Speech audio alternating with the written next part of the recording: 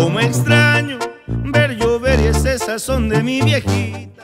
Emiliano Coronel, integrante de la banda MS y originario del sur del estado de Morelos, se siente entusiasmado y nervioso por la presentación de este fin de semana en su lugar de origen, pues asegura que familiares y amigos irán a verlo, cuando muchas veces es complicado que se trasladen a otras localidades en las cuales se ha presentado. Y yo creo que ese día va a ser, va a ser nerviosismo. Mi mamá me dijo que voy a llevar una, pancarta con mi nombre y eso me tiene aterrado, porque imagínate.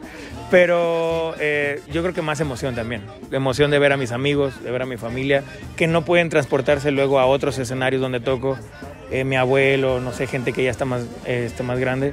Yo creo que va a ser un día muy especial, el 7 de mayo. Porque los nervios es esa sensación de que disfrutas lo que haces, ¿no? O sea, cuando ya no tienes nervios es porque quizás ya no, ya no es tan emocionante para ti lo que estás haciendo, ¿no? Y yo sí me muero de nervios todo el tiempo y todo el tiempo pienso que, que no le va a gustar a la gente y que no sé qué, y estoy con esa, con esa dinámica, ¿no? La banda MS se estará presentando este sábado 7 de mayo en Jardines de México. Emiliano manda un mensaje muy alentador a las nuevas generaciones. Sí, yo les digo que le echen muchas ganas, que estudien mucho, que se preparen, porque como dije ahorita, la música es seriedad, es una carrera profesional que si la haces bien vas a lograr grandes cosas.